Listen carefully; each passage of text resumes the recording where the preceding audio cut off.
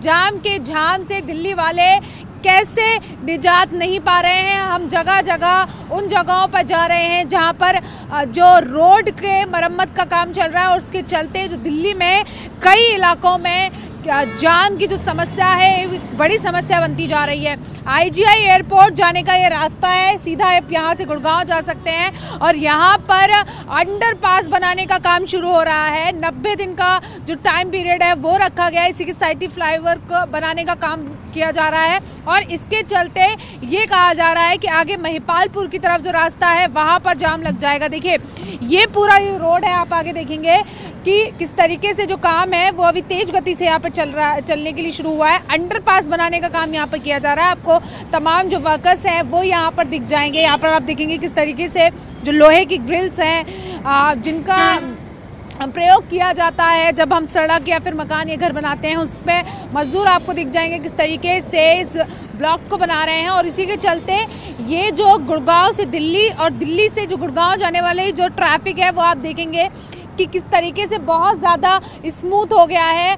धीमे धीमे जो गाड़ियाँ हैं, वो चल रही हैं, क्योंकि आप देखिए किस तरीके से जो लाइन है रेड कलर की, वो यहाँ पर से रोका गया है इस रास्ते को कि आप इस रास्ते का प्रयोग आपको नहीं करना है, क्योंकि यहाँ पर मरम्मत का काम चल रहा है। और आप देखिए कि इसके चलते जो गाड़ियाँ हैं, उनकी जो रफ्तार है, वो बहुत धीमी हो गई है। और चूँकि जैसे जैसे समय बढ़ता जाता है वैसे वैसे गाड़ियों की जो संख्या है, वो बढ़ती जाती है और उसके चलते जाम लग जाता है। और ये कहा जा रहा है कि महिपालपुर और आगे जो एयरपोर्ट की तरफ़ जाने वाले जो मार्ग हैं या फिर सीधा आप अगर गुड़गांव की तरफ़ जाना चाहते हैं तो वहाँ पर भी जाम लग जाता है, जिसके चलते दिल्ली वाले बहुत ज़्यादा परेशान हो जाते हैं।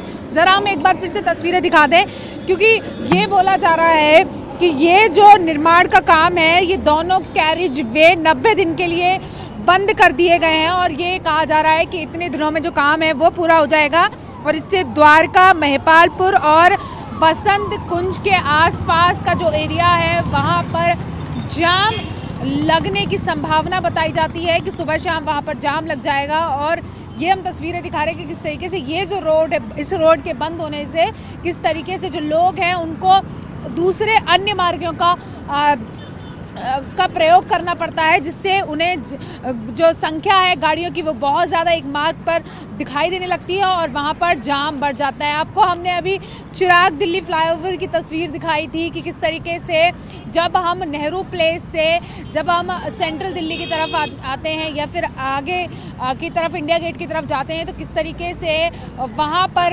जाम लग जाता है जब हम वहाँ पे जो लोग काम कर रहे हैं जो अधिकारी वहाँ पर आ रहे हैं, उनसे बात कह रहे कर रहे हैं तो उन्होंने कहा कि एक अप्रैल तक जो काम है उसको पूरा हो जाएगा। यहाँ पर अब हम आपको जगह जगह जा रहे हैं, क्योंकि दिल्ली का जो जाम है, वो एक बड़ी समस्या बीते कई सालों से बना हुआ है और इस समस्या से निजात आखिर दिल्ली वालों को कैसे मिलेगा? ये एक बड़ा सवाल फिर से और बार बार खड़ा हो जाता है, क्योंकि बिना किसी प्लानिंग के जब मरम्मत का काम किया जाता है तो लोग हैं, उनको बहुत ज़्यादा जाम से जूझना पड़ता है और हर बार अपने दफ्तर या फिर अपने किसी भी रोज़मर्रा के काम को पूरा करने के लिए जो वो अपने घर से बाहर निकलते हैं तो उन्हें बहुत ज़्यादा मशक्क़त करनी पड़ती है। लोगों का ये भी कहना है कि अगर हमें इस मार्ग से जाने में जब हमें पंद्रह मिनट लगते थे, अब हमें वो पैंतीस से पैंतालीस मिनट लगते हैं, जहाँ हम बीस मिनट लगते थे, वहाँ हमें कभी कभी एक से डेढ़ घंटा हो जाता है। यानी कि हमारा जो समय है, वो बहुत ज़्यादा इस जाम में लग जाता है। इस जाम से बाहर आने में हम यही चाहते हैं कि नियमों को रख प्लानिंग के तहत जो है सड़क बनाने का काम किया जाए, ताकि जो हम दिल्ली वाले हैं, उनको जाम की समस्या का सामना ना करना पड़े। आपको कितना ये जाम जो लग रहा है, ये हाईवे का काम चल रहा है, कितना परेशान है पहले मैं यहाँ से अपने ऑफ़िस 20 मिनट में पहुँच जाता था। हाँ, कहाँ है आप कहाँ पर है आपका आर के पुरम ऑफ़िस है मेरा सेक्टर आठ में। अभी पैंतालीस मिनट लगते हैं। पैतालीस मिनट पंद्रह मिनट बीस पच्चीस मिनट लेट होता हूँ। पच्चीस मिनट लेट हो जाते हैं अपने वहाँ जाने के लिए। क्या कहेंगे इस तरीके से जब हाईवेज या तमाम सड़कों को बनाने का काम होता है बिना प्लानिंग के और जिसकी वजह से दिल्ली वाले जूझते क्या कहेंगे कहना चाहेंगे? ये काम तरीके से नहीं होते जगह जगह रोड टूटे पड़े हुए हैं और दिल्ली में ट्रैफ़िक का वैसे ही मारी है।